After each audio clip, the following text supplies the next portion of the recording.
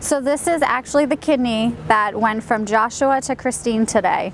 Josh Dall-Leighton got his wish, and his wife Ashley has the pictures from one of the surgeons to prove it. Josh, a corrections officer and father of three young boys, volunteered to donate a kidney to Christine Royles, a single mom of a two year old, after seeing this sign on the back window of her car last fall in South Portland. When we first met him in March, Josh told us he didn't think twice about offering to help.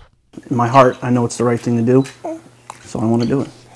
The transplant surgery was nearly derailed when Maine Medical Center put the surgery on hold in order to sort out legal and ethical issues surrounding the almost $50,000 raised for the Dall-Leightons in a GoFundMe campaign. Last week, the hospital announced it was ready to move forward. Finally, early Tuesday morning, Josh, Christine, and their families arrived at Maine Med.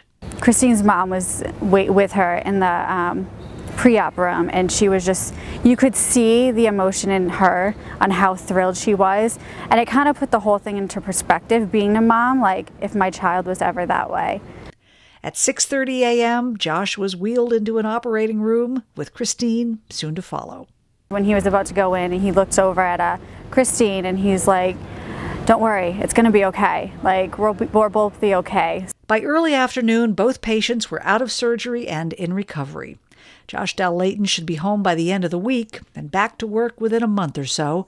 Christine Royles will soon have her life back on track, too. No more dialysis, no more worry. Thanks to a stranger who didn't hesitate to help. In Portland, Susan Kimball, Portland Press Herald.